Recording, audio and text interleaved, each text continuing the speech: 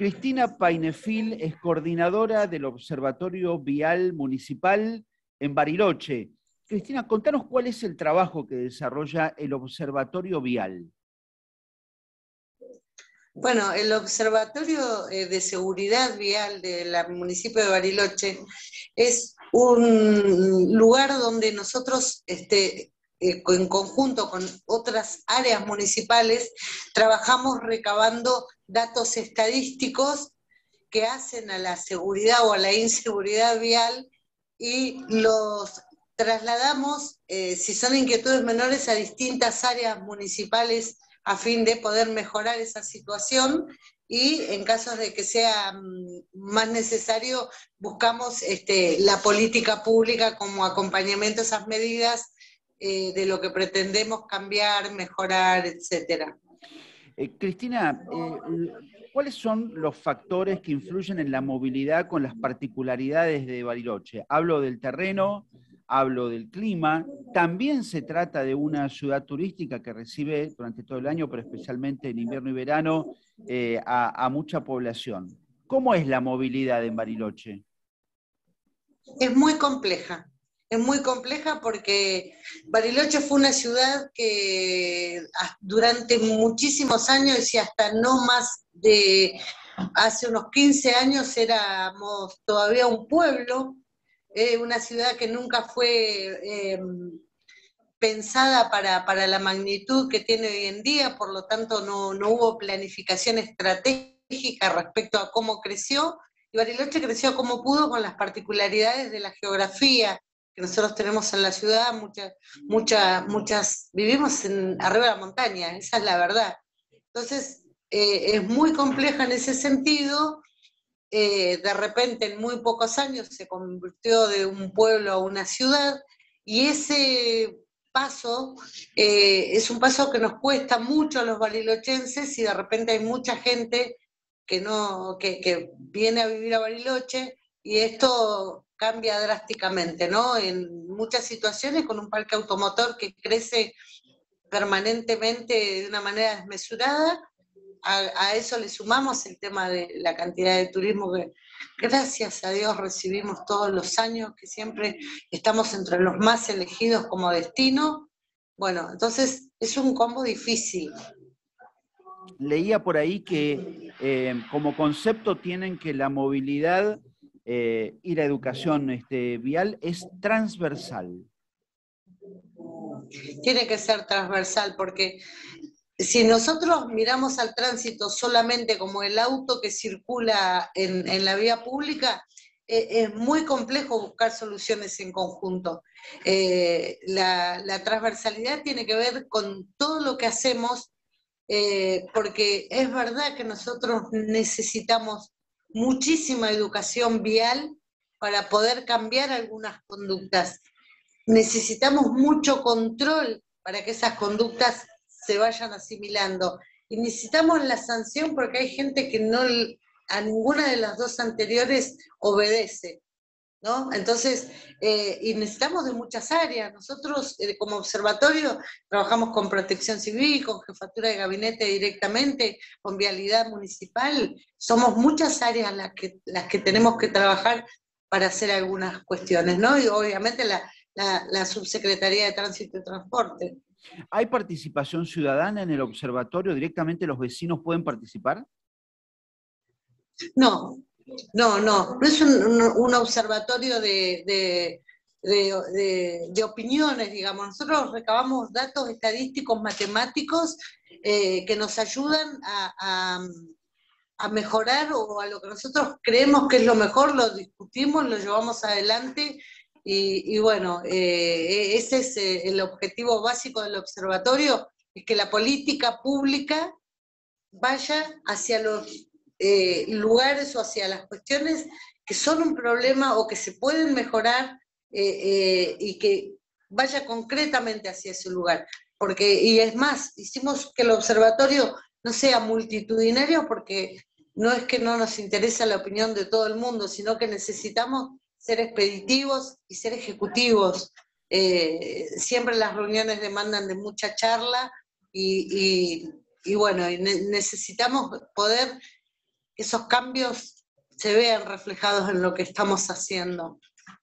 ¿Qué eh, chances tienen de eh, difundir o divulgar el uso de la bicicleta en un terreno eh, como el de Bariloche y en esta transformación que vos nos contabas anteriormente?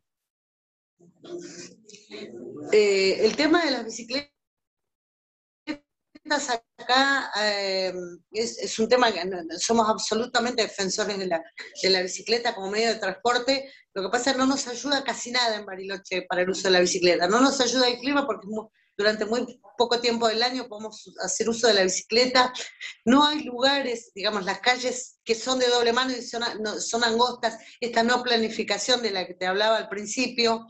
Eh, entonces, muchos eh, ciclistas que lo hacen por deporte buscan salir hacia las rutas, que tampoco es seguro, eh, y entonces eh, hay una complejidad con eso, ¿no? Hay, hay una complejidad que han habido siniestros viales con el tema de la bicicleta. Este, bueno, se está pensando en hacer un montón de cosas que ayuden, pero sobre todo al paseo, a la recreación, no tanto al uso de la bicicleta eh, como medio de, de transporte cotidiano, lo que sí tenemos es una invasión bastante importante de motos, también es otro problema bastante difícil en la ciudad. Claro, porque el, recuerdo que, tengo de Bariloche son precisamente eh, calles angostas, como vos decías, ¿no? Y avenidas no muy anchas.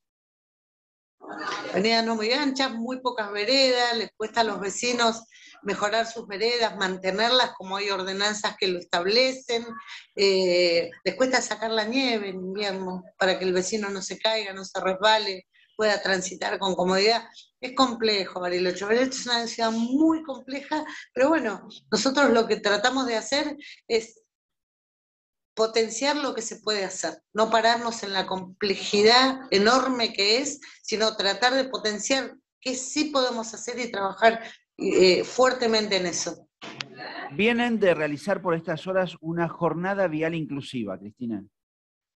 Sí, es la primera vez que Bariloche genera una jornada de, educación vial inclusiva. Bariloche tiene un programa de educación vial creado por ordenanza, eh, en el que establece que se debe ir a los colegios primarios y secundarios y hacer este, educación vial nunca se había ido a las escuelas especiales.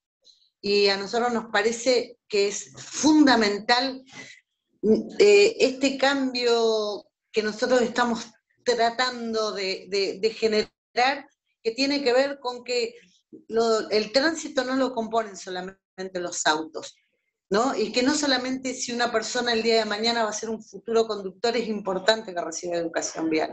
Es importante que todos recibamos educación vial, porque si no somos conductores, somos pasajeros, si no somos pasajeros, somos peatones, o somos ciclistas, o somos motociclistas, o todos de alguna manera usamos esos espacios comunes. Y nosotros lo que estamos tratando de, de generar es que los automovilistas entendamos que los espacios que usamos son espacios comunes, no son espacios exclusivos del automóvil. Nosotros estamos en una era donde donde, como le, llamamos, este, vivimos el autocentrismo, ¿no?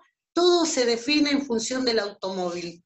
Eh, las ciudades se diseñan pensando en el tránsito automotor eh, y se piensa y se mira muy poco respecto a los peatones. El ejemplo es lo que acabamos de hablar de las bicicletas, lugares donde sean uso de otro tipo de medio de transporte y donde el automovilista deje de creer que la calle le pertenece eh, absolutamente y que es el amo de la calle.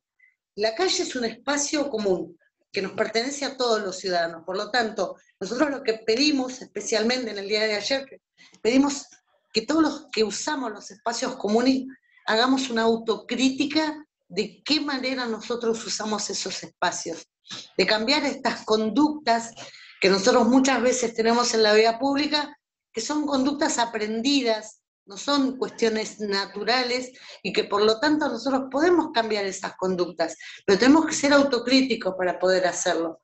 Tenemos que entender y empezar a mirar la ciudad de otra manera, ¿sí? Los espacios son comunes, por eso existen veredas, sendas peatonales, no son exclusivos de ninguno de los que lo usamos y todos tenemos responsabilidad sobre ese uso. Y quisimos trasladar ese mensaje a personas que tal vez tengan algún tipo de vulnerabilidad en la calle y que entiendan, y la verdad que fue una experiencia maravillosa. Estamos muy, muy contentos por la respuesta de, los, de, los, de las personas con discapacidad de la Escuela Especial 6, de sus docentes, directivos, y, de cómo a través de juegos y, y, de haberle puesto mucha energía y haberle hecho autos con cartones y un montón de cosas que trabajamos previamente, logramos hacer algo hermoso, que se diviertan, que, la pasen bien, que lo entiendan, le teatralizábamos las sendas peatonales, le teatralizábamos los semáforos, vinieron inspectores municipales, usaban sus uniformes, sus silbatos. Fue una jornada hermosa, la verdad estoy muy contento, muy.